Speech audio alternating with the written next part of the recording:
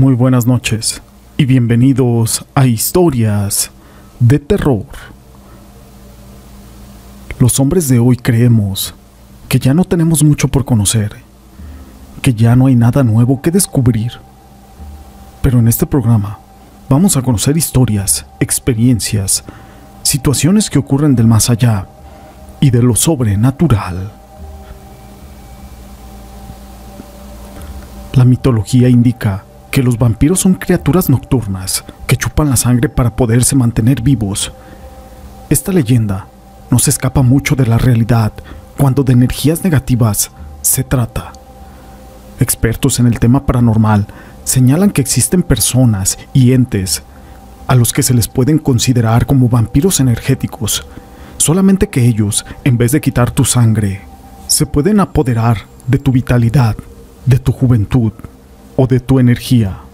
Pero todo esto no es relevante sin una historia. Mi nombre es José Llamas y te presento una mujer de blanco.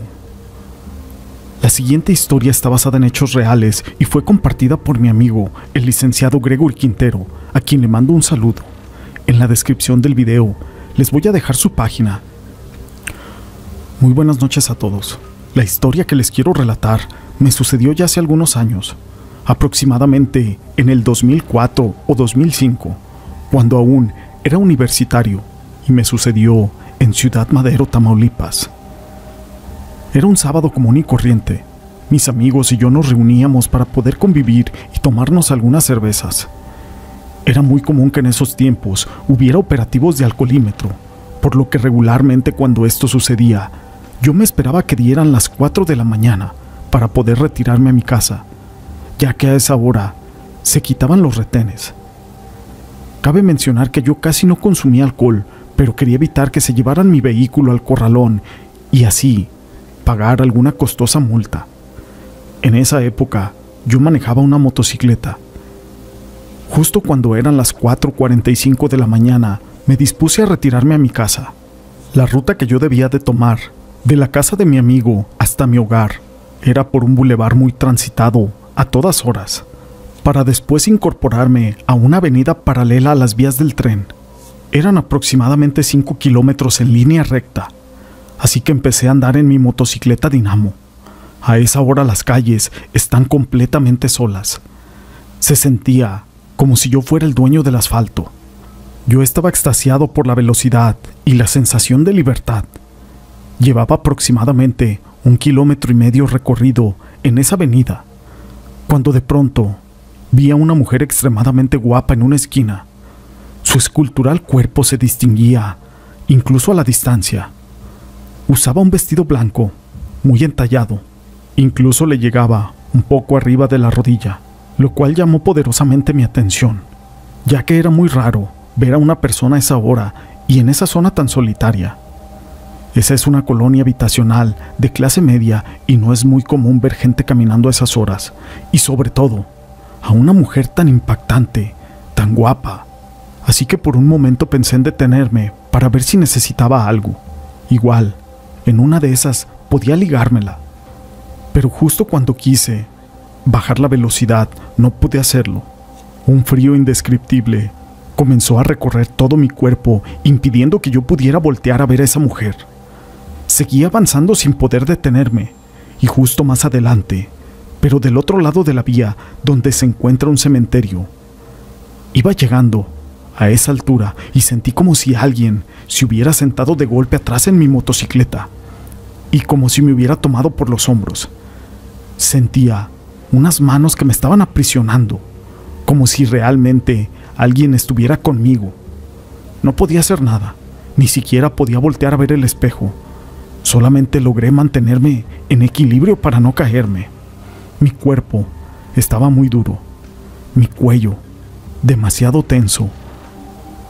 Comencé a sudar frío. El recorrido se empezaba a hacer eterno. Lo único que se me ocurrió fue hacer una oración. La única oración que se me vino a la mente fue el Padre Nuestro y mientras seguía avanzando, después de un par de kilómetros, poco a poco sentí que la carga se iba aligerando, hasta que casi llegaba a mi casa. Justo cuando llegué había desaparecido por completo. Al llegar a la casa, yo me sentía muy cansado por aquel desvelo y la carga que llevaba en mi espalda. Yo no me explicaba lo que acababa de suceder, así que en ese momento traté de relajarme y no pensar en eso. Solo caí rendido en mi cama. El tema no lo platiqué con nadie. Primero quería aclarar mi mente y recordar exactamente qué fue lo que me había pasado. Y después de algunos días, lo platiqué con algunos amigos y les conté esta historia. Al principio lo tomaron como una burla y vacile, pero después, ya un poco más serios, me comentaron que algunos de ellos ya habían escuchado algunas historias muy parecidas en ese mismo lugar. Pero se cuenta que hay una mujer con un vestido blanco que camina sobre la vía y realmente, no sé quién o qué es lo que sea, pero me abordó y se subió a mi motocicleta y la culpo de haber vivido una experiencia aterradora, que de solo recordarla, incluso cuando estoy escribiendo estas palabras, me pone la piel de gallina, y cada vez que paso por ese lugar, aunque no sea de noche, me hace sentir una sensación que nunca antes había experimentado.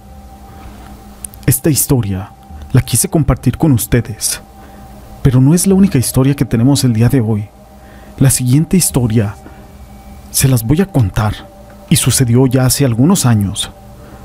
Falleció la mamá de una amiga, y como estábamos acostumbrados a asistir a los funerales de todas las personas que son allegados a la familia, decidimos ir. Cabe mencionar que el lugar donde sería el velorio era un rancho, el cual queda muy lejos de la ciudad y no hay más que solamente parcelas a los lados, incluso para llegar.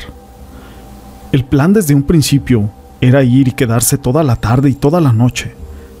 Total, ya cuando llegamos eran las seis de la tarde. Se empezó a oscurecer y las personas que estaban acompañando a los familiares empezaron a retirar, quedando solamente la familia de la fallecida. Pero todos estaban retirados del féretro. Solo como seis personas estábamos donde se había colocado ese ataúd. A eso de las doce y media más o menos, se empezaron a escuchar unos aullidos y ladridos de perros. Así sucedió por algunos minutos. No se nos hizo nada extraño, mas hubo un momento donde hubo una pausa de aullidos. Y en el fondo, pero muy en el fondo y despacio, se alcanzó a escuchar un lamento de una mujer, el cual era muy lastimero. Solamente se escuchaba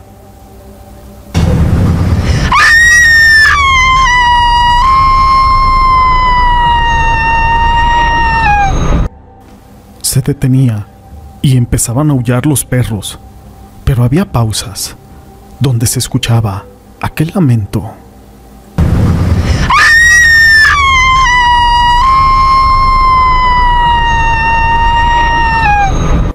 Ese lamento hacía que la piel del cuerpo se eterizara, porque estábamos en un funeral.